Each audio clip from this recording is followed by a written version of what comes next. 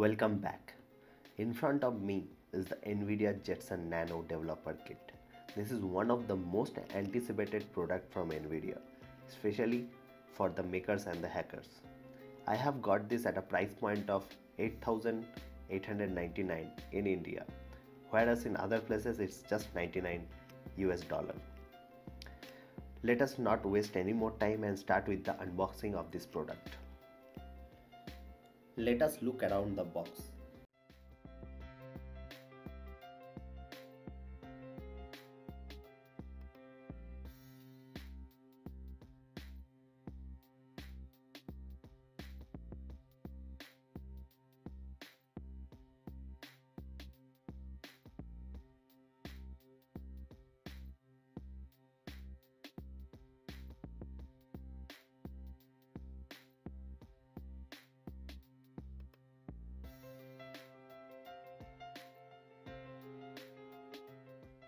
I have already cut the seal and so let's open it up. The first thing we have is some documentation. Next we have the development kit sealed in an ESD safe package.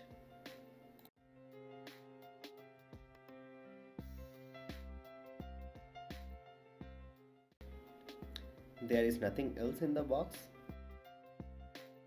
Let us look into the documentation.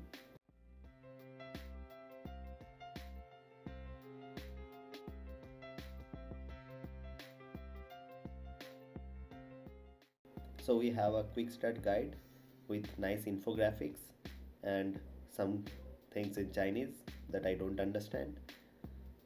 So next thing we have the folded cardboard stand to keep the development kit. I will unfold it and keep it ready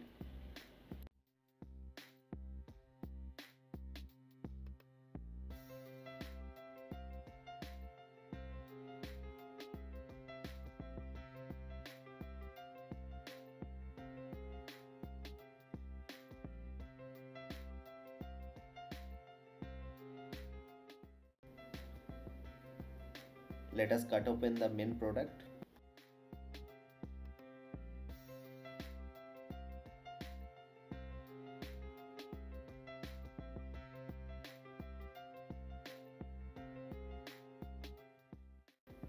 Here is the nvidia jetson nano. Everything is so premium black. The black solder mask gives a premium look to the product I think most of the Nvidia product uses a black solder mask. Let us have a look around the board. This has a quad-core ARM Cortex A57 CPU running at a 1.43 GHz CPU clock. Along with the CPU, we have a dedicated 128 core Maxwell NVIDIA GPU which is running at a frequency of 921 megahertz. The GPU delivers 472 gigaflops of computational power, which is the backbone of this device. Along with this, we have a 4 GB low power DDR4 25.6 gigabyte per second throughput RAM. It don't have a storage device like a Raspberry Pi. You have to add your own micro SD card. This one has an encoding capability of 1 4K 30 FPS video or 2 Full HD 60 FPS or 4 Full HD 30 FPS video. It also has a decoder which can decode 1 4K video at 60 FPS, 2 4K video at 30 FPS, 4 Full HD at 60 fps and 8 full hd at 30 fps it also has a 12 lane MIPI CSI 2 camera interface which has a throughput of 1.5 gigabit per lane which gives it a total of 18 gigabit per second. It has two HDMI 2.0 or DisplayPort connection as well as it has a M.2 key slot for expansions which also has a PCIe Gen 2 port available for any PCI based device to be connected. Front side of the board we have all the major connectors. We have a barrel power connector for 4 amps of power at 5 volts. We have HDMI and display port. We have 4 USB 3.0. We have a gigabit ethernet port and a micro USB for 2 amps at 5 volt power. Right side we have the 40 pin GPIO which is very similar to the Raspberry Pi GPIO. At the right corner we have a power over ethernet connector. We also have a PWM fan connector for active cooling. Moving to the other side, we have the we also have a jumper to select the power either from barrel connector or the micro USB connector. If connected, the power is selected from the barrel connector. We have a MIPI CSI 2 connector where we can connect any Raspberry Pi's camera or the button connectors similar to a standard motherboard front panel connectors which is a big advantage for safe shutdown and power. We also have a serial communication port which can be used for debug purpose. Moving to the other side, we have the Jetson Nano system on module under which we can see the micro SD port where we have to connect a minimum of 16 GB of micro SD card under which you can see the M.2 slot where we can connect a Intel Wi-Fi card or any expansion card which are supported in M.2 Nvidia did add some additional protection for the USB before shipping the product out.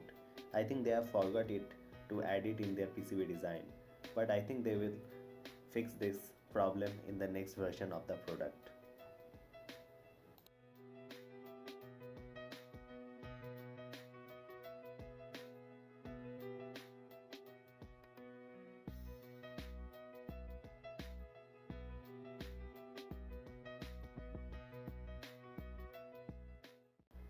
So let's start with the first time boot. I will be using the OnePlus 6 charger which can deliver 5 volts 4 amps of power. I will be also using a Logitech wireless combo for mouse and keyboard. I have already flashed the SD card with the OS.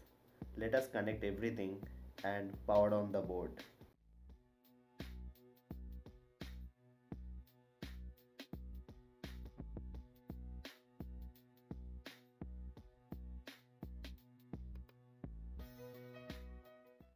We have the NVIDIA logo as the splash screen.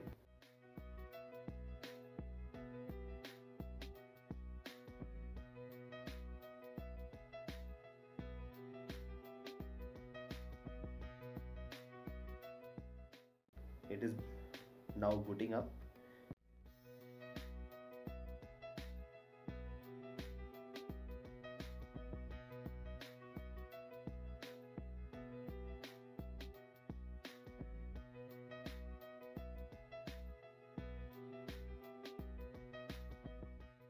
Next we have the li general license agreement and the first time setup which is very general for the Ubuntu system.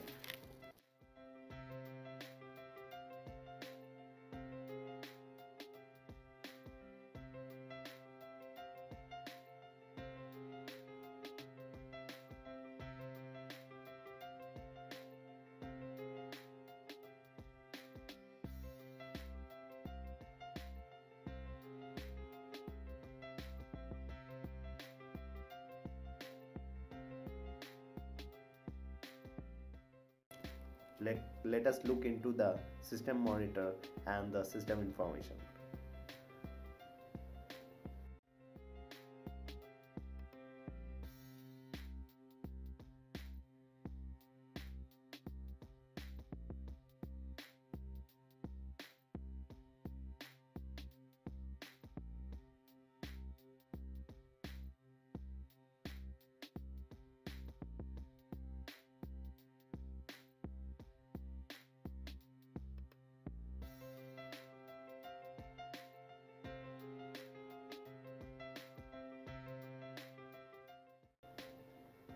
For all the benchmark result, please visit the webpage. Link is in the description. Don't forget to like, share and subscribe.